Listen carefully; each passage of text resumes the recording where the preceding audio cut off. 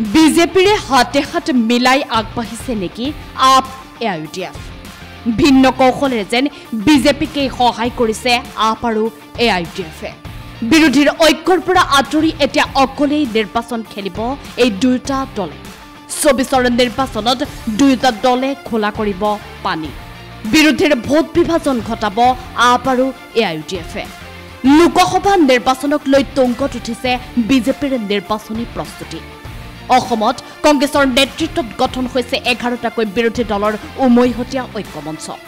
বিৰোধী ঐক্যমঞ্চ অসমী সমষ্টি পুনৰ নিৰ্ধাৰণৰ খচৰাৰো বিৰোধিতা কৰিছে। কিন্তু অসমত বিজেপি বিৰোধী মৰ্চাত নাথাকে আম আদমী পাৰ্টি। পিছে অকল আপ নহয় বিৰোধী ঐক্যৰ পৰা বাহিৰ হৈ ৰ'ল এ আই ইউ ডি এফও। আৰু অৱধাৰিতভাৱে সমাগত নিৰ্বাচনত এই দুয়োটা দলে বিজেপি বিৰোধী ভোটৰ বিভাজন ঘটাব। ইতিমধ্যে চৈধ্যটাকৈ লোকসভা সমষ্টিৰ বাবে এসত্তৰজন প্ৰাৰ্থী বিচাৰিব বুলি আপ অসমৰ সভাপতি ডক্টৰ ভৱেন চৌধুৰীয়ে মন্তব্য কৰিছে। আনহাতে যদি আমি এ আই ডি এফলৈ লক্ষ্য কৰোঁ তেন্তে দেখা যায় যে গণতন্ত্ৰ আৰু সংবিধান ৰক্ষাৰ স্বাৰ্থত ৰাজ্যৰ যি এঘাৰটা ৰাজনৈতিক দল একত্ৰিত হৈছিল সেই বিৰোধী ঐক্যমঞ্চৰ পৰা আগতীয়াকৈ বাদ পৰিছিল এ আই ডি এফ সেয়ে ইয়াৰ পৰা স্পষ্ট হৈ পৰিছে যে বিজেপি বিৰোধী মৰ্চাৰ পৰা বাদ পৰি এতিয়া অকলেই নিৰ্বাচনত প্ৰতিদ্বন্দ্বিতা কৰিব এ আই ইউ ডি এফেও আৰু সংখ্যালঘু ভোটৰ বিভাজন ঘটাই যেন বিজেপিক ৰঙা দলিচা পাৰি দিবলৈ সাজু বদৰুদ্দিন আজমলৰ A I U D F. এতিয়া ৰাজনীতিত চৌবিছৰ নিৰ্বাচনী ঢৌ।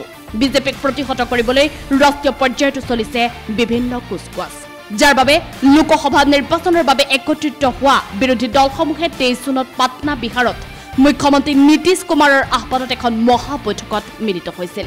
তাৰ মাজতে ৰাষ্ট্ৰীয় পৰ্যায়তো চৰ্চা লৈ আহিছিল দিল্লীৰ মুখ্যমন্ত্ৰী অৰবিন্দ কেজৰিৱালৰ প্ৰসংগ। আপৰ অৰবিন্দ কেজৰিৱালৰ স্থিতিক লৈ বিভিন্ন সময়ত প্ৰশ্ন উত্থাপন হৈ থকাৰ মাজতে পুনৰ বিজেপিৰ সৈতে একে সুৰত সুৰ মিলোৱা দেখা গ'ল আম আদমী পাৰ্টীক। সততে তীব্ৰ বিজেপি বিৰোধী ৰূপে দেখা পোৱা আম আদমী পাৰ্টীয়ে একক নাগৰিক সংহিতাৰ সন্দৰ্ভত কেন্দ্ৰক সমৰ্থন আগবঢ়াইছে। ইফালে অসমতো আম আদমী পাৰ্টীৰ বৰ্তমানৰ অৱস্থা হৈ পৰিছে তথৈ বছ। দলীয় অন্তকণ্ডল আৰু ৰাজ্যিক পৰ্যায়ৰ নেতৃত্বৰ আকুৰগোচ মনোবৃত্তিয়ে ভাৰাক্ৰান্ত কৰি তুলিছে আপ অসমক। আনহাতে অসমত বিৰোধী ঐক্যৰ পৰা বাদ পৰি বেকা আঙুলিৰে ঘি খাবলৈ বুলি তথা ৰাজনৈতিক ভৱিষ্যতক লৈ চিন্তিত আজমলে সাক্ষাৎ কৰিছিল বিহাৰৰ মুখ্যমন্ত্ৰী নীতিশ কুমাৰক। কিন্তু আজমলৰ উদ্দেশ্যত পৰিছিল চেঁচা পানী। মহাজোঁটত চামিল হোৱাৰ পৰা বঞ্চিত কৰিছিল A I U D F. যাৰ ফলত পাটনাৰ বিৰোধী বৈঠকলৈ আমন্ত্ৰিত নহল আজমল। সেয়ে এক নতুন প্ৰত্যাহ্বানক ৰুধিবলৈ ৰাজনীতিৰ সমীকৰণ সলনি কৰি এতিয়া আজমলে অকলেই নিৰ্বাচন খেলাৰ মন মেলিছে। কিন্তু আজমলৰ এই নতুন সমীকৰণে লগোৱাৰ সম্ভাৱনা আছে বিৰোধীৰ ঐক্যতহে। কাৰণ আজমলে নিজাকৈ প্ৰাৰ্থী প্ৰক্ষেপ কৰিলে বিৰোধীৰ ভোট বিভাজন নিশ্চয়কৈ ঘটিব। উল্লেখযোগ্য যে আপ অসমে অসমত বিৰোধী ঐক্যৰ প্ৰথমখন বৈঠকত উপস্থিত নথকা অথবা মোৰ পুলুকা বৰাৰ কথাই বহুতৰ মনত সন্দেহৰ উদ্বেগ ঘটাই আছিল। তেনে সময়তে চৈধ্যটা লোকসভা সমষ্টিৰ বাবে এসত্তৰজন প্ৰাৰ্থী বিচাৰিব বুলি আপ অসমৰ সভাপতি ভৱেন চৌধুৰীয়ে যি মন্তব্য কৰিলে সেই মন্তব্যই সেই সন্দেহক যেন অধিক ঘনীভূত কৰি তুলিলে।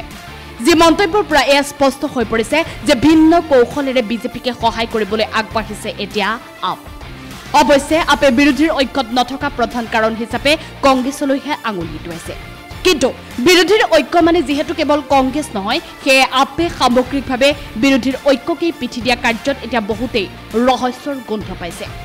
বহুদিনৰ পৰা এই কথা আলোচনা হৈ আহিছে যে AAP A I D F মূলতঃ বিজেপিকেই সহায় কৰি আহিছে। বৰ্তমান দেশৰ যিকেইখন ৰাজ্যত আপে চৰকাৰ গঠন কৰিছে সেই দুখন ৰাজ্যতো কংগ্ৰেছেই দীৰ্ঘকাল শাসনত আছিল।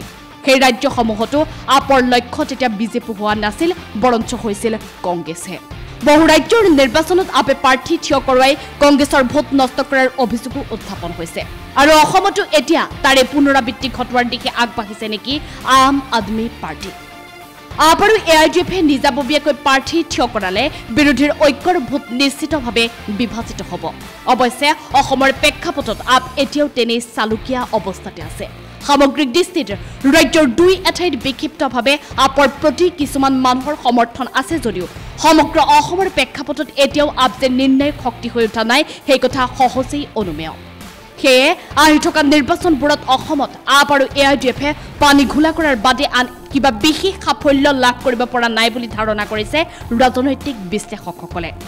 বিজেপি বিৰোধী ভোটৰ মুকলি বিভাজনহে ঘটাব আপ আৰু এ আই ডি এফে যাৰ ফলত নিষ্কণ্টক হৈ পৰিব শাসকীয় দল বিজেপি আপ অসমৰ নেতৃত্বই এতিয়া ৰাজ্যৰ তৃণমূল পৰ্যায়ত ভোটাৰৰ কাষ চাপিবই পৰা নাই। এনেদৰে বিভিন্ন সময়ত চৰ্চিত হৈছে। অসমত আপৰ সঠিক নেতৃত্বৰ অভাৱৰ বাবে দলটোৱে ঠন ধৰি উঠিব পৰা নাই বুলিও আলোচনা চলিছে। তাৰোপৰি আম আদমী পাৰ্টী অসমৰ নেতৃত্বই কিছু কথাই মানুহৰ মনত বিভিন্ন সময়ত বিভিন্ন প্ৰশ্নৰ অৱতাৰণাও কৰিছে। এনে দলীয় খামখেয়ালিৰ মাজতেই আপ অসমৰ যি ভৱেন চৌধুৰীয়ে ঘোষণা কৰিছে সেই ঘোষণা কৰাই এক নতুন মাত্ৰা দিছে।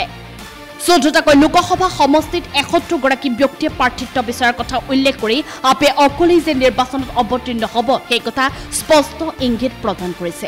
আৰু সেয়াই হ'লে বিৰোধীৰ ভোট ভাঙি আম আদমী পাৰ্টীয়ে মুকলি কৰি দিব পাৰে বিজেপিৰ পথ। একেদৰে সাম্প্ৰদায়িক মেৰু বিভাজনৰ ৰাজনীতিৰ আৰু অকলে নিৰ্বাচনত অৱতীৰ্ণ হৈ বিজেপিৰ বাবে আশীৰ্বাদ হৈ পৰিব পাৰে বদৰুদ্দিন আজমল অথবা A I U T F আৰু আছে খবৰ পৰৱৰ্তী বা বাতৰিৰ বাবে চাই থাকক আপোনাৰ আপোন চেনেল প্ৰাগ নিউজ ডিজিটেল।